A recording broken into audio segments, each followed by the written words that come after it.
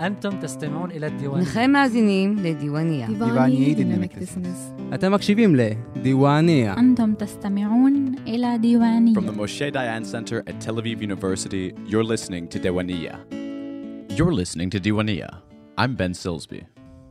On June 18th, Dr. Kamal Sito of the Society for Threatened Peoples spoke at the Kurdish Forum held by the Moshe Dayan Center at Tel Aviv University We spoke with Dr. Sito after his presentation to learn more about the experiences of Kurds in the uprisings against Syrian President Bashar al Assad. The following interview is in Arabic. An English version of the interview will be made available shortly.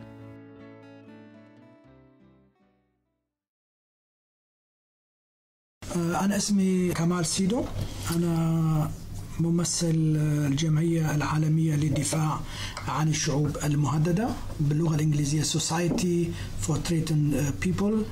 أنا مسؤول قسم الشرق الأوسط منظمة حقوق الإنسان مركزها في ألمانيا وأنا مسؤول الشرق الأوسط وأهتم بقضايا الأقليات في البلدان الشرق الأوسط مثلا عن الأقباط في مصر الأكراد في تركيا في سوريا وإيران عن الآسوريين والآراميين والكلدان في هذه البلدان الأرمان في تركيا هذه أهم مجالات عملي Okay, and tell us a little bit about Kurds in Syria. How many there are, where they live. الأكراد في سوريا يعيشون في المناطق الشمالية على طول الحدود السورية التركية من الغرب في منطقة عفرين أنا من مواليد عفرين في محافظة حلب وبعدين بالاتجاه المناطق الحدودية في مناطق عين الحرب أو كوباني باللغة الكردية إلى رأس العين في محافظة الحسكة في عمودة دربة سبية ديريك على طول الحدود التركية السورية. حوالي 10 إلى 15% من عدد سكان سوريا هم من الأكراد يعني حوالي 3 ملايين من 20 إلى 23 مليون في كل سوريا. في حوالي 3 ملايين كردي في سوريا بالإضافة هناك مجموعات كردية كبيرة في مدن حلب ودمشق في حي الركن الدين أو حي الأكراد So we saw recently a, a major development with this Free Syrian Army, uh, who's elected a Kurd as their leader. Can you tell us a little bit about that? What does that mean for the greater Kurdish population in Syria, if anything? الأكراد في سوريا مش يعني يقومون يوميا أو كل أسبوع أيام الجمعة بالمظاهرات ضد النظام الدكتاتوري ضد نظام البشار أسد في كل المدن الكردية من عفرين إلى قامشلي. يرفعون شعار إسقاط النظام. الشعب يريد إسقاط النظام.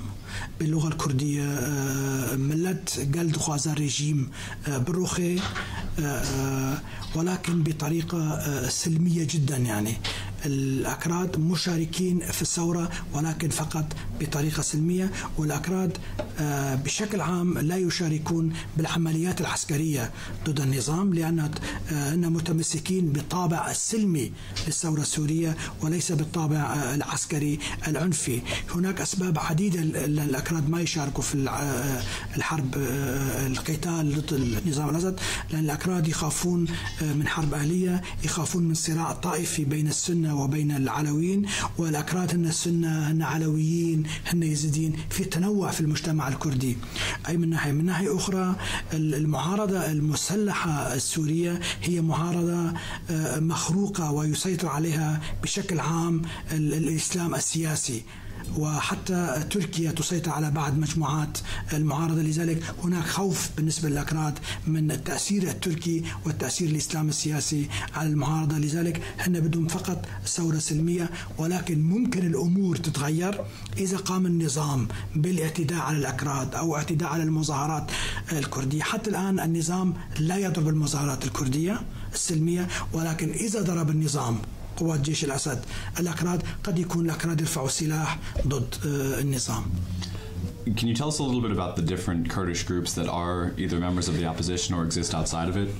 الأكراد طبعا منظمين جدا. المجتمع الكردي منظم سياسي تاريخيا. يعني أكثر المجموعات البشرية في سوريا منظمة تنظيميا هي المجتمعات الكردية. ولكن هناك مجموعة كبيرة من الأحزاب في الفترة الأخيرة هناك تم تشكيل ثلاث مجموعات رئيسية. المجموعة الأولى هي المجلس الوطني الكردي في سوريا. هناك حوالي 15 إلى 17 حزب موجودين داخل المجلس الوطني الكردي.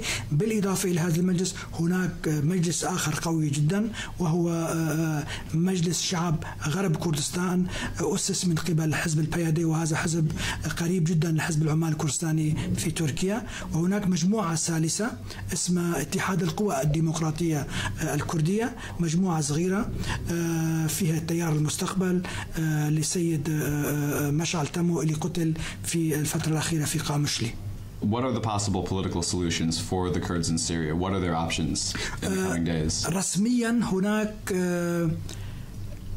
ثلاث شعارات. الشعار الأول هو الفيدرالية. الأكراد يريدون الفيدرالية. ممكن تشوف المظاهرات دائما يكتبوا على الترانسبارنت.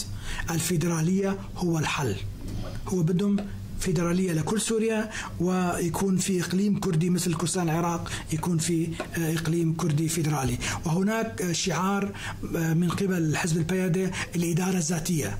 أو الإدارة الذاتيه في كل مناطق كل المناطق الكردية اللي فيها أكراد يصير إدارة ذاتية وهناك شعار من قبل المجموعات الصغيرة هو انه حق المواطنه أن الأكراد يكون عندهم حق المواطنه يشاركون في الحياة بس بشكل عام الأكراد بدهم نوع من أنواع الحكم الذاتي Do you think a federal state is possible? The Kurdish areas in Syria aren't territorially contiguous. آه، طبعا آه، هذا الشعار أنا حسب رايي مش واقعي. يعني إقليم واحد كردي مش واقعي. ولكن ممكن تكون يكون عده أقاليم كردية ذات الحكم الذاتي يكون في عفرين منطقة ذات الحكم الذاتي في كوباني منطقة ذات الحكم الذاتي وفي الجزيرة المناطق الأكثرية الكردية فيها آه، في حكم يعني ثلاث مناطق حكم ذاتي بالإضافة إلى دولة لا مركزية في سوريا. دولة لا مركزية في سوريا. الأقاليم المناطق تكون عندها صلاحيات أكثر يعني. آه، في كل الأحوال آه، الأكراد ما عندهم شيء يخسرون يعني. يعني إذا النظام راح يروح بشار الأسد بالنسبة لي منتهي دكتاتورية بشار الأسد راح يروح والأكراد راح يعني يحصلون على شيء جديد أكيد يعني. بس شو هو الشيء الجديد ما نعرف. قد يكون حكم ذاتي أو نوع من اللامركزية في كل سوريا. في كل الأحوال أكراد آه، أوضاع الأكراد ستتحسن قد يكون مش بعد سنة مباشرة ولكن بعد انتهاء الحرب الأهلية واستقرار الأوضاع انا عندي قناعه انه الاكراد راح يصير عندهم نوع من انواع الحكم الذاتي في سوريا ولكن متى لا نعرف In the talk you gave, you showed a, a, a graph, a pie graph of, uh, of the number of Kurds in Syria. And there was a huge difference between the number of uh, Arabized Kurds in the 50s and the Arabized Kurds in the 2000s. And so uh, I was just wondering what is meant by, like, what do we mean when we say Arabized Kurds? Mm. How long has the Arabization process been going on? And what does that mean for the for the Kurdish people in Syria? المشكلة الحكومات السورية يعني منذ بداية الدولة السورية منذ تأسيس الدولة السورية حتى الآن اللغة الكردية ممنوعة يعني مش طبعا مثل تركيا بس ديفاكتو هي لغة ممنوعة. ما فيش مدارس باللغة الكردية ما فيش جرايد ما فيش راديو ما فيش تلفزيون باللغة الكردية. فعملية الانصهار أو ال assimilation كان موجود مثلا بين أكراد حلب أكراد دمشق مثلا أكراد اللاذقية جبل أكراد في اللاذقية. كلهم ما نسيوا اللغة الكردية. راح أكراد جبل الزاوية كان في جبل الزاوية في إدلب قسم كبير من الأكراد راحوا انتهوا خلاص. يحكون يقول نحن أصلنا كردي. بالتركي يقولوا Kürt kökenli آه، يعني نحن أصلنا كردي بس خلاص انتهوا. فإذا العمل إذا الأكراد ما صار عندهم مدرسة ما صار عندهم تلفزيون ممكن عملية ال assimilation تستمر يعني. لذلك حتى في تركيا نفس الشيء يعني. مثلا في مناطق مالاتيا آه، مراش إلى آخره تقريبا انتهوا الأكراد. ونفس العملية في سوريا. يعني في بداية تكوين الدولة السورية كان عدد الأكراد أكثر الناس اللي يتكلم اللغة العربية مثلا في دمشق بيت الايوبي كان يعرف اللغة الكردية في دمشق. حاليا خلاص. آه، أنا بالنهاية طبعا آه، أحب أشكر جامعة تل أبيب ومركز موشي ديان. وقسم الدراسات الشرقية في القسم وخاصة سيدة أوفا لدعوة لإسرائيل وهذه زيارتي الأولى لإسرائيل. طبعا أنا أشتغل مع منظمة حقوق الإنسان. نحن نهتم أيضا بقضايا الأقليات في إسرائيل. في كثير من المرات ننتقد حتى سياسة إسرائيل باتجاه البدو في في النقب في في المسألة الإسرائيلية الصراع العربي الإسرائيلي. نحن دائما ولكن منظمتنا تقول الشعب اليهودي الشعب الإسرائيلي عنده حق في الحياة. الدولة الإسرائيلية يجب أن يعترف به دوليا. وفي منطقة وإسرائيل جزء من الشرق الأوسط والشعب الإسرائيلي جزء من الشرق الأوسط. لازم نحن نتحادث مع بعض نحكي مع بعض ونحل الخلافات بطريقة سلمية. آه. آه ممكن تتكلموا آه شكرا لاستماع لديوانية في كردية.